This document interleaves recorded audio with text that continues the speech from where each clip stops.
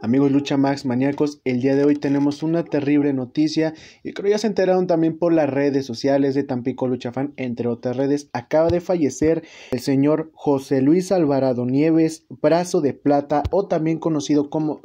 El día de hoy pues nos dieron esta terrible noticia, nos acabamos de enterar que falleció Super Porky este carismático y gran luchador, la última leyenda de la lucha libre mexicana, estuvo en WWE, Consejo Mundial, AAA, fue un excelente luchador, recordemos esa rivalidad que tuvo con su hermano El Brazo.